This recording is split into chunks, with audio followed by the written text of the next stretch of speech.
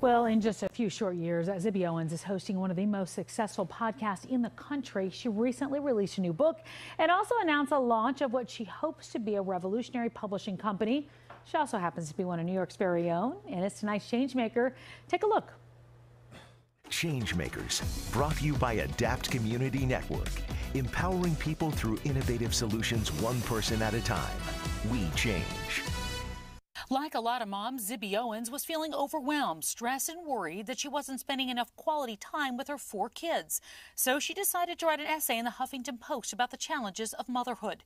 But she ended up writing several more, and before long, she was considering writing a book after a couple years really my husband who was i was about to marry at that time my second husband said you know you should really write a book of all these essays for moms and i said moms don't have time to read books and then i was like oh that's so funny i'll just name that That'll be the title of my book. But the clever title didn't appeal to publishers, and neither did Zibby's lack of a major following.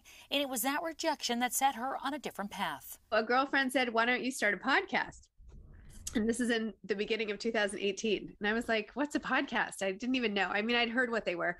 So I went home and researched different podcasts, and I was like, Okay, well, I guess I could do this. I'd always had loved books, uh, and I thought, well, I'll just use that title for my podcast. So that is how it all began. The Moms Don't Have Time to Read Books podcast launched in March 2018. Every episode features an interview with an author about what's important to them and gives busy readers the backstory to both popular and undiscovered essays and books. Today, the podcast, well, it's been downloaded millions of times, and it's a long list of guests, including big names like singer Alicia Keys, actors Lena Dunham, and First Lady Dr. Jill Biden as soon as I sat down at my desk, I was like, this is it for me. I love doing these types of interviews. The success of the podcast allowed Zibby to finally become a published author earlier this year. Her newest book, Moms Don't Have Time to Have Kids, was released in November.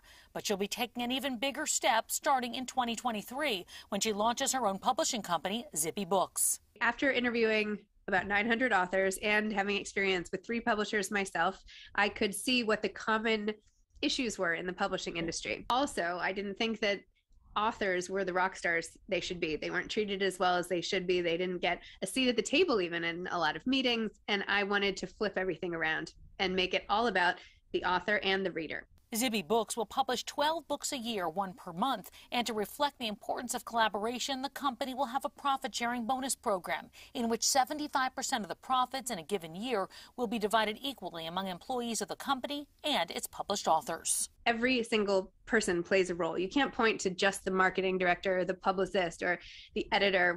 Everybody plays a crucial role in this team effort of getting a book onto a bookshelf. So if you want to learn more about Zibby, her podcast, her new book, or her publishing company, you can visit our website, pix11.com. Check it all out. And if you know a good change maker in your community, reach out to me on social media anytime at Tamsen Fadal because we love good stories like that. She has a powerful yes. voice. Yes, she does.